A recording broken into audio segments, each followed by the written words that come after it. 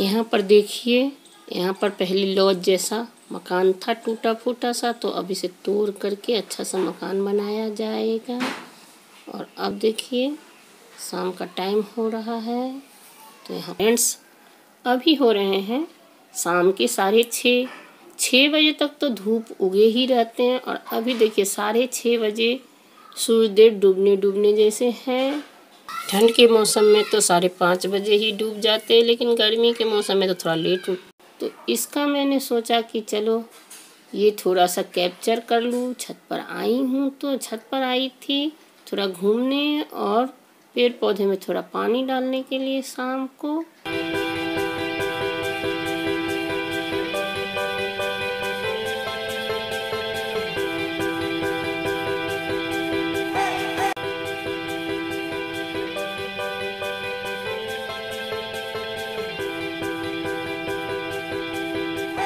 Hello friends welcome to my channel मेरे channel में आप सबका खूब खूब स्वागत है। आई होप आप सब अच्छे होंगे, भले चंगे होंगे, और अब मैं जा रही हूँ हरौला मार्केट इनका लेना था शर्ट पैंट तो शर्ट पैंट के लिए जा रही हूँ हरौला मार्केट यहाँ का सबसे अच्छा और बड़ा मार्केट है। अच्छे रेट में अच्छी क्वालिटी के सामान यहाँ मिल जाते हैं तो हम यहीं से अधिकतर सामान लेने जाते हैं। तो चलिए फिर चलते हैं हरौना मार्केट आपको भी दिखला अब मैं हो चुकी हूँ तैयार। जाने के लिए मार्केट।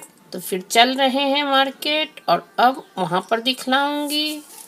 अब देखिए, हम लोग हरौला पहुँच गए हैं और ये मार्केट ऐसा है। यहाँ भीड़ हमेशा रहती है, हमेशा। और इस तरह से लेके चल रही हूँ आपको मार्केट के अंदर में। तो ये देखिए, दुकान में इसी दुकान से ये कपड़ा लेते हैं। हमेशा से और बहुत अच्छे रेट में बहुत अच्छी क्वालिटी के मिलते हैं और ये मार्केट ऐसा है बड़ा। यहाँ आपको हर एक सामान मिल जाएगा जो चाहिएगा सब। कंपनी का भी सामान यहाँ मिल जाता है प्रत्येक सामान यहाँ मिल जाता है ये ऐसे कलर दिखा दो चलो। ये कलर भी तुम्हारे पास ब्लू कलर बहुत है ना? है आपके पास? है बत्तीस तो आ जाएगा। ये कितने कितने साइज़ का है? तीस का है दो ये भी तीस का ही है ना? तुम्हें बत्तीस आएगा ना। और हम लोग कपड़ा इस तरह मार्केट से ही लेते हैं ऑनलाइन नहीं लेते हैं। मार्केट से ही अच्छी तरह से देख परख करके लेते हैं। ये साढ़े चार हज़ार सौ लगाओ। पैंट मैं ले जाता हूँ इनसे उनसे पैंट कौन सी ले रहे हो? ये देखो पहले। दोनों ले रहा हूँ उनसे बात कर लो आप। भाई साहब एक सोना और एक चांदी होगा तो दोनों का एक साइज़ थोड़ी होगा। एक आठ सौ पचास का सात सौ पचास का लगाओ। हाँ हाँ नहीं अरे बहुत हो रहा है बहुत हो रहा है मालिक। नहीं नहीं बहुत नहीं हो रहा है। अब अब सही मैं सही रेट बता रहा हूँ। बिल्कुल सही बता और यहाँ पर बार्गेनिंग करके चौबीस सौ का सामान चौदह सौ में इन्होंने दे दिया। ये यहाँ से बहुत दिन से लेते थे और अब यहाँ पर आ गए हम लोग चाउमीन खाने के लिए। और चाउमीन खा करके हम लोग यहाँ पर चले आ रहे हैं। यहाँ बर्तन मार्केट में बर्तन मार्केट में बर्तन एक दो दुकान में पूछ रही हूँ। नॉन स्टिक तवा। इधर है बर्तन। इधर क्या लेना है? तीन सौ रुपया है। देखती हूँ अगर नहीं लेना है तो छोड़ो। पूछ पाछ कर लेती। हूँ हाँ नॉन स्टिक तवा। भैया नॉन स्टिक तावा मिल जाएगा? नहीं। उस वाले भी मिलेगा। उस वाले पे मिलेगा।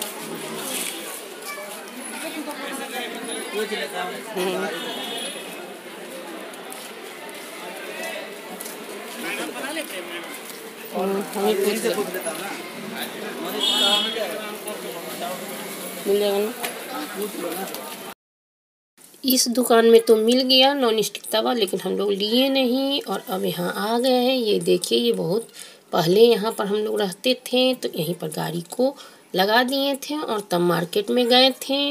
मार्केट में गाड़ी लेकर जाते नहीं तो यहाँ से ये अभी गाड़ी लेंगे और तब हम लोग चल पड़ेंगे घर के लिए। तो यहाँ देखिए, हम लोग निकल गए हैं, सड़क पर हैं घर जाने के लिए।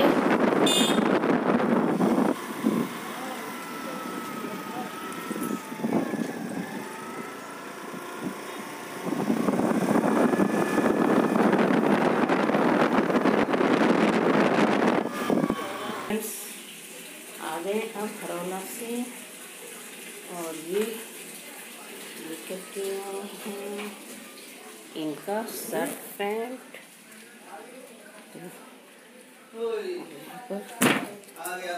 आ गए। मैं भी आ गई। मैं आ गया। मेरे कपड़े आ गए। और यहाँ पर देखिए मैंने अपने लिए ये माला ली हूँ। क्योंकि मैं मोती का माला पहनती हूँ। मोती की माला से गले पर इन्फेक्शन नहीं होता है और उसमें पित्तल के लॉकेट वगैरह लगे रहते हैं तो उससे इन्फेक्शन हो जाते हैं। गर्मी के मौसम में दाने दाने से आ जाते हैं और सोना मैं पहनती नहीं हूँ, क्योंकि सोना हमेशा पहनना भी ठीक नहीं है। इसलिए मैं सोना पहनती नहीं हूँ, यही सब पहनती तो मोती का माला सबसे मुझे बेस्ट लगता है तो मैं मोती का माला ही पहनती हूँ। टी शर्ट का प्राइस कितना पड़ा? ढाई सौ रुपया ना? ढाई सौ का एक टी शर्ट दो टी शर्ट वो कलर देखो। हाँ दोनों कलर मैंने अलग अलग लिया ठीक है। चीज़ एक ही है। कलर अलग अलग है। एक जींस ये ब्लू वाले तो इन्हें ठीक हुए हैं।